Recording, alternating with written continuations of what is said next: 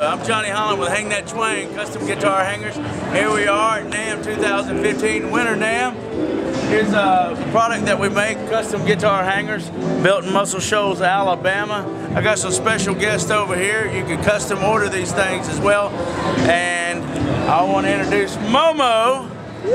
What's up guys? Momo from the Heavyweight Jam and I'm sitting here with my buddy Rick and the awesome Travis Bowlin here on guitar and I gotta tell you, you can hang your guitars with these giant picks. Uh, you can get your face on there.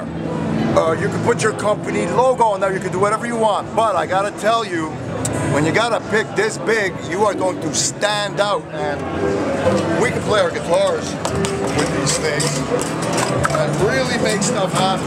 So, what we're going to try and do is convince somebody to give us an app for a second here.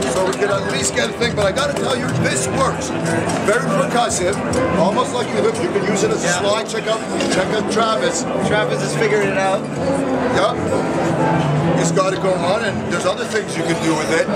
You can slide like that.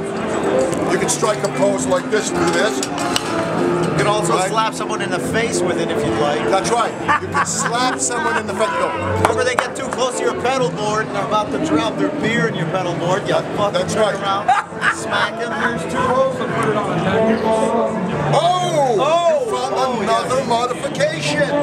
Yeah, one more. It's a necklace. Hang that twang. The Travis Bullet necklace.